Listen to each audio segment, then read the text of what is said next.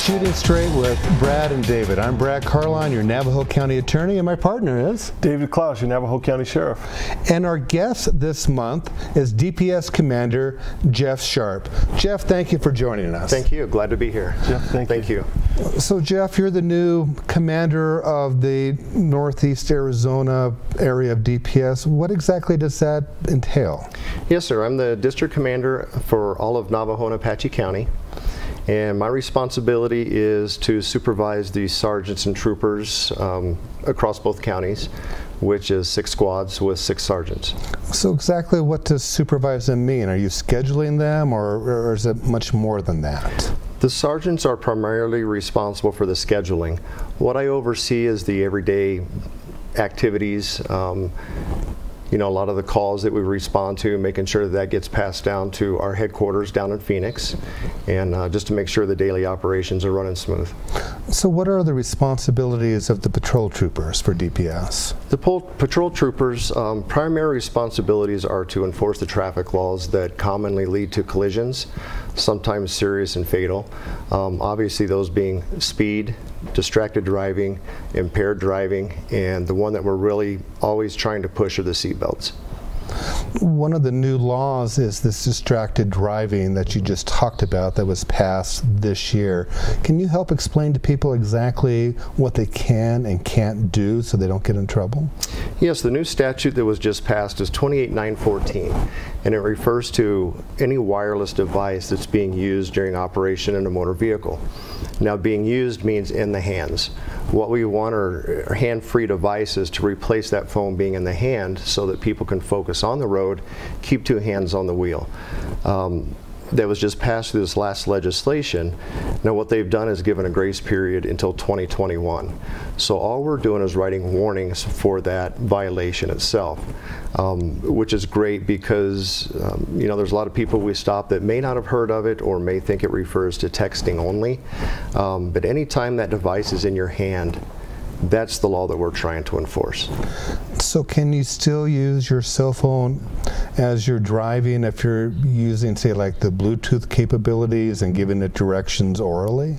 Yes, sir, and that's what we prefer. Um, the new vehicles, most all have Bluetooth now, and there are other alternatives to uh, cell phones to making it a hands-free device. Um, that's what's required. The only exception is if you're at a stoplight or a stop sign for that short time if you need to check. But otherwise, while a vehicle's moving, you have to be hands-free of that device. So it's all right for a uh, motorist to pull over to the side of the road as long as they're not in traffic and use their cell phone or pull off? Yes, sir, as long as that vehicle stopped. Yeah. Go ahead. I was going to say, I have a couple interesting questions to kind of change topics. Mm -hmm. um, you know, a lot of people, they often confuse sometimes the sheriff or DPS mm -hmm. or mm-hmm. police departments. Um, could you kind of explain? Um, I often get questions: Where does DPS have authority, or can they stop me inside city limits, or can they right. only stop me on a state highway and not a county highway? Can you kind of explain some of those right. things? That's a good question. Um, for years, we've been the Department of Public Safety. That's the state police agency. Uh, within DPS, there are five different divisions, with one of those being the Highway Patrol Division. So for years, we've been known as the Highway Patrol. That was the white cars with the blue markings and the blue star. Well, recently, um, we've decided to rebrand and become State Troopers. So now you may see a vehicle that says State Trooper that's black and silver compared to Highway Patrol. Still the same job, um, still the same troopers. Um, just a rebranding. So as far as DPS, our primary responsibility are the highways, the state highways, the interstates. But we do have jurisdiction statewide. So there are times we may be off the highway enforcing laws um, on the county roads, you know, and a big part of that is assisting um, the city and county agencies with, you know, whatever we may be able to. Yeah. So um, can uh, a question I often get is can you um, arrest somebody or can you investigate um, say a theft at a Circle K if there's no police officer or deputy available? Yes, we can. Um, there are some things um, we're able to enforce those. But as in, we like to say we're experts in the DUIs and collision reconstruction. Other agencies are sometimes experts with the domestic violence and theft, so sometimes we'll lean on uh, the other agency to investigate those, but we are capable of doing those and sometimes do. Yeah, and much more so, I would say, in Navajo and Apache counties versus you would see in Phoenix metro area, where you see a trooper or a DPS officer hand in hand with a county deputy or a city police officer. Right. Um, and that's where I think a lot of people get those questions. And you and I, and uh, one of my deputies and one of your officers hold the exact same uh, certification or Mhm. uh, authority from the state as Arizona peace officers. Right. And um, so you see that more here versus what you would see in uh, Phoenix working together uh, hand in hand investigating different crimes. Right. And I'll tell you, that's what I was really excited to have the opportunity to come up here. Um, I was a state trooper in Minnesota for 10 years and worked small town. And the opportunity to come up here and work small town again, a large part of that is being able to work with our partners, um, watching the troopers and, and the deputies and the officers work together. Really enjoy that aspect of this job. Yeah. Well, I'm glad you mentioned it. Tell us a little more about your career with DPS, where you've worked, and kind of the different assignments you've held. Okay.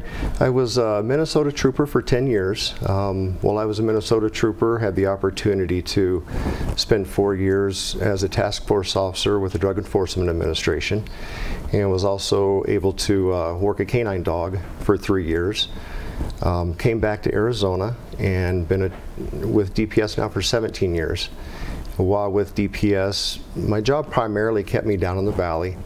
Um, I worked highway patrol and metro, promoted to sergeant with a metro squad, and then went to internal affairs. So I worked internal affairs for four years, uh, spent one year as the supervisor at our armory, which is at Ben Avery facility down in Phoenix, and then promoted to captain. And when I promoted to captain, we were discussing earlier during my promotion was in the middle of the Red for Ed down at the Capitol. So that was my introduction to being a captain. Uh, was down at the Capitol for one year, and as Captain Phelps was retiring, started to notice there wasn't a lot of interest in his position. So uh, excited about the opportunity, glad that I've got it, and uh, enjoy hunting and fishing, which had nothing to do with me wanting to come up here, but very glad to be up here. You're in closer proximity for it now. Much easier.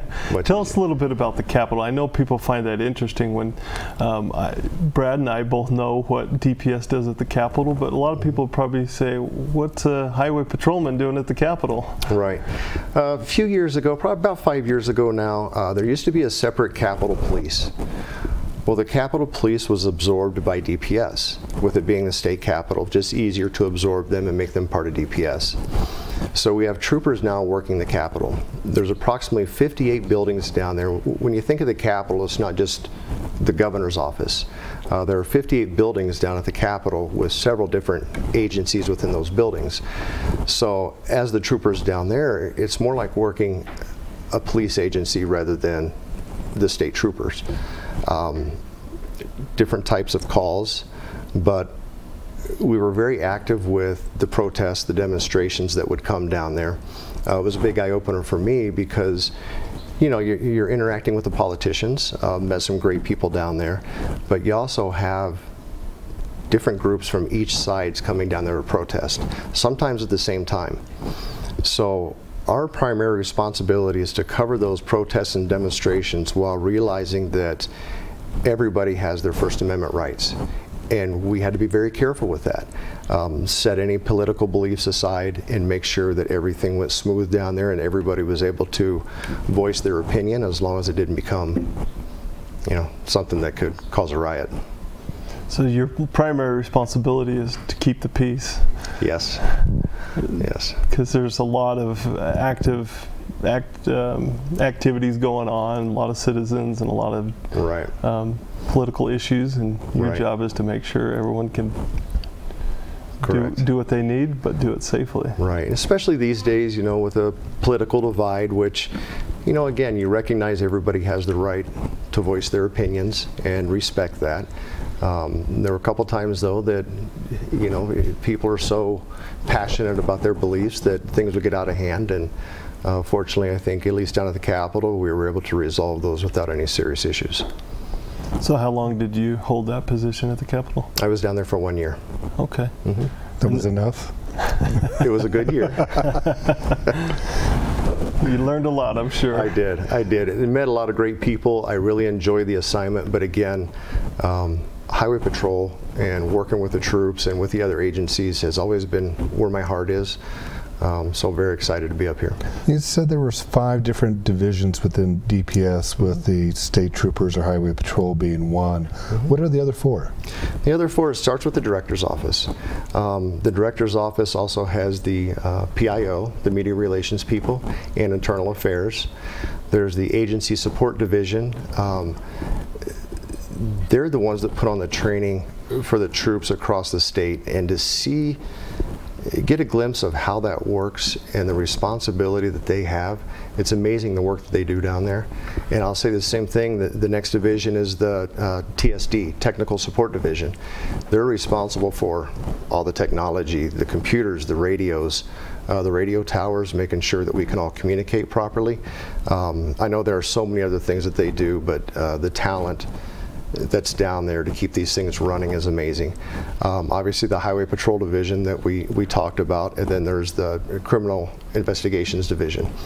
Um, within CI, we have you know narcotics, GIITEM, um, the gang enforcement, um, border strike force, um, a lot of small entities within CI. And as the commander up here, do you have any supervisor responsibility over like the gang task force or the the drug teams that work in your two counties? No, sir, not directly. Um, what we do is they have another commander responsible for them. Now, obviously, with it being in the same community, we're always in communication with each, with each other, sharing information. Um, but there's another commander responsible for the CI part of it. Now, there's another interesting division, probably under criminal investigations, that we use their services a lot, and that's the crime labs. Yes. Uh, tell us a little bit about more about the crime labs you guys operate, or Sure. Yeah, the crime lab. We have one uh, lab in uh, Flagstaff, Phoenix, Tucson, and I believe there's another one out um, near Kingman. Um, but all the evidence that we get, whether drug analysis, blood, any other substance, we can send to that lab for analysis to see exactly what it is we're dealing with. It's not just DPS; it's every agency in the state. 'cause I know all the law enforcement agencies in Navajo County utilizes the DPS crime lab. Right, and we will, uh, you know, my main office is in Holbrook, and we have evidence custodians up there that will oftentimes gather evidence um, from the counties and from the police agencies, um, gather them in Holbrook, and then transport those to Flagstaff for, for the analysis. and go ahead. No, I was going to say it's in one of the most uh, recent things that just amazes me is, uh, which you may have heard about, is the rapid DNA. Um, it's somewhat new now. I want to say uh, three or four years, maybe a bit longer. But now the ability to gather DNA and have a result back within hours rather than weeks or sometimes even months, Months. is amazing. It's amazing. Yeah, and that's like Brad was mentioning. That's a service that we at the sheriff's office use. Um, there's large agencies like Phoenix, um, Mesa, Glendale. They'll have their own labs, but small rural agencies, every agency in Navajo County uses the state labs, and that's primarily true for every agency throughout the state, except for the five large ones. or- Right, right. And um, that's a that's another way that we work together, and that we use those services to help, you know, further criminal justice here. Right. So back in Minnesota, you talked about being undercover and doing the DEA task force. How come your career never went more that direction and you kept being drawn back to the highway patrol side? You know, when I, I left Minnesota, um, I was done with um, the DEA part. And Minnesota was a great place, great people. Um, they were strictly highway patrol, um, enforcing, you know, traffic laws until you're 55 and able to retire. So it's not like DPS where you have the different entities within it that you can transfer to. Um, in Minnesota, a lot of the criminal investigation part is turned over to the BCA, or the Bureau of Criminal Apprehension. Which is a different entity It's a in different agency to where if we had a big criminal case, then the BCA would take that over. Is that a state agency? Yes, yes. Whereas here at DPS, we have those entities within DPS. So when I was done with the DEA task force, um, wanted to continue with the narcotics investigations. Uh, came down to Arizona to do that, and when I got hired on with Arizona, things kind of went stale for a while as far as transfers. So I was sent back to Highway Patrol, which uh, no complaints whatsoever. I absolutely love it. Um, it was just a different path and it worked out very well. I love being out, meeting the community, and also now and then getting the little adrenaline rush that other things sometimes bring. But uh, 27 years and it's it has been a great career. So, as a uh, commander, captain, do you still get the opportunity to make stops yourself or participate in things that are going on as a backup or something else? I do, and at least for me, I think that's important. And I think it's a little different for the troops. I had to explain to them that if I show up on your scene, it's not because I'm checking up on you. I just like being involved. Um, I will go out and work some of the DUI details that we have. I will make traffic stops.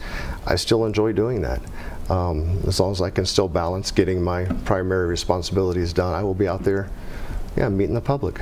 I enjoy doing that. So I was going to ask you, you, when you went to Highway Patrol in Phoenix, were you on a freeway squad or down there working the interstate and stuff? I was what we, we refer to as the ditch, I-17 and I-10. Yes. So tell me some of the, the differences the differences between working the ditch versus a trooper working 260 or 77 mm -hmm. here in Navajo County. I would say the biggest difference is uh, the troopers working downtown Phoenix a large part of their responsibilities are reactive. There are so many collisions uh, and calls that happen down in the Phoenix metro area that they are continuously running to these different calls. Whereas in outlying areas, you have to be more proactive. You have to go out and initiate those contacts rather than you know, listening to the radio and responding to all the calls. That's probably the biggest difference that I see. So since it's more proactive up in a rural area, what are you pushing down as a message to your troops as how to be proactive? Because I assume that your concepts might be slightly different than your predecessor and maybe others. You know, it all starts with, we discussed before, um, our primary goal is to reduce the violations that cause collisions, to try to save lives. Um, speed enforcement, um, impairment, always looking for impairment, whether it's alcohol or drugs. Because obviously these days we're getting about the same number of drug impaired drivers as we are alcohol. So we're training more troopers on what to look for and we're really trying to, to put an emphasis on the impaired driver through drugs. Um, and I said when you say drugs, you're talking about not only illegal drugs but also abuse of prescription medications. Yes, yes. Um, probably more so even the prescription medications. You know, it's no secret that oxycodone and some of these other drugs have, have been in the news. Um, we do see a lot of that causing impairment on the roads. Um, and there are things you can look for with a driver, and it's the same thing, you know, with marijuana. You'll hear the old tale that, you know, people smoke marijuana because they can't get caught. Well, we're sending troopers, uh, there have already been several, but we're sending more troopers to school to become a drug recognition expert. And there are things that we can look at with a driver that will help us a, determine if they're under the influence of a drug, and B, we can also usually tell what category of drugs they're under the influence of. So we're stepping up the training in that. Um, and again, the seat belts. Can't tell you how many collisions we see where if somebody was wearing a seatbelt, they may have been banged up a little bit, but they would have survived that crash. Whereas a vehicle that rolls over maybe once or twice, somebody's ejected and, and unfortunately, you know, die from their injuries. Um, we cannot, you know, we cannot push seatbelt enforcement enough. Yeah, you know, at the sheriff's office, we've been doing a big push, and I know the state has as well. Um, Memorial Day to Labor Days, often known as the 99 dangerous days of summer mm -hmm. for highway safety or highway travel. And we've already been seeing it locally or locally in some of the collisions we've been investigating over these holiday weekends. And it, we, the, we can't stress it enough, and there's not enough education you can put out there that people need to slow down, wear their seatbelts, and um, I appreciate working with you guys and helping uh, with these DUI enforcement activities we've been doing. Sure. Going back to the marijuana impairments, you hear from a lot of these advocates for it that there is no impairment. I, uh, have you and your troopers found people that have used marijuana that there is a period of time where they may not be as good of a driver as they think they are? You know, I think we're getting into some of the statistical information that I don't have. Um, I know that we do stop several drivers who are under the influence of marijuana.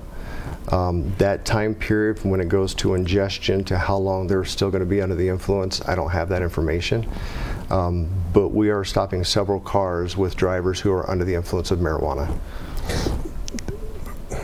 Are they weaving like someone on alcohol or not as consistent with speed or the same type of impairments that you see with alcohol? Or are they somewhat different? Um, you know, they're pretty consistent. Um, speeds may be lower than the posted speed limit or their reactions will be slower, especially when you're coming up behind them to stop them.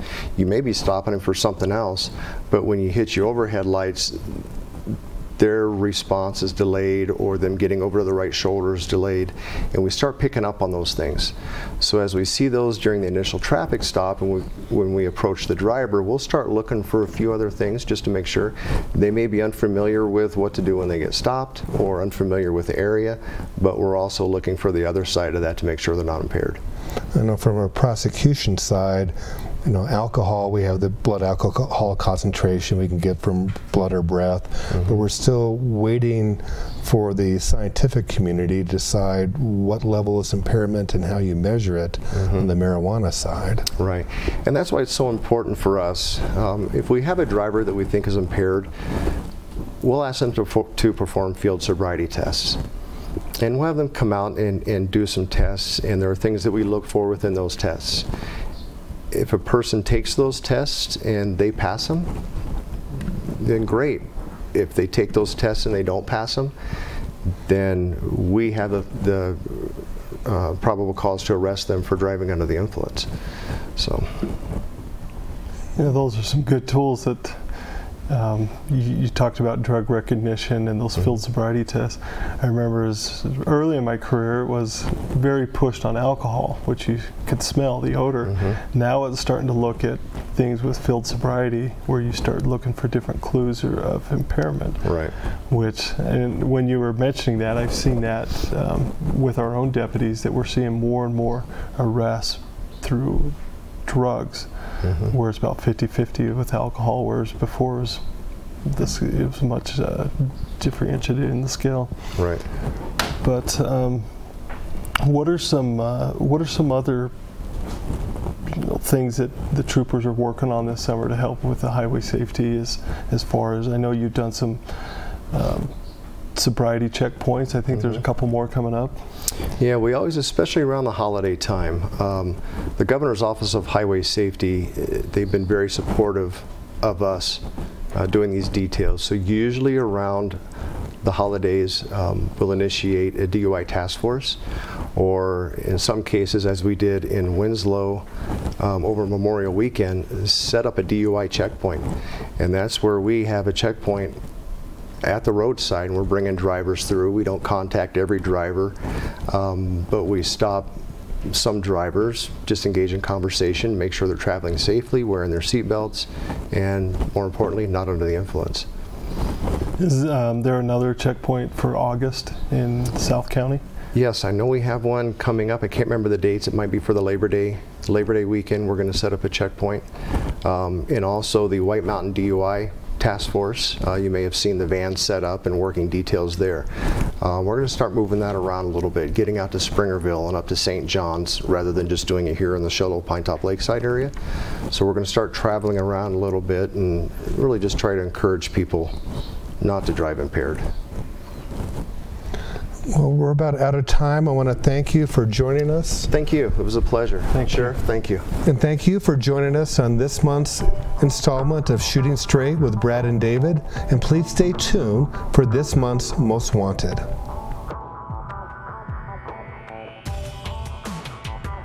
The Navajo County Sheriff's Office is seeking Samari Leba, a white female 5 foot tall with brown hair and hazel eyes, wanted on a felony warrant for transportation of dangerous drugs for sale. If you have seen or know of the whereabouts of Samari, please call the Navajo County Sheriff's Office at 928 524 4050 or anonymously contact WeTip at 1 800 78 Crime or at WeTip.com.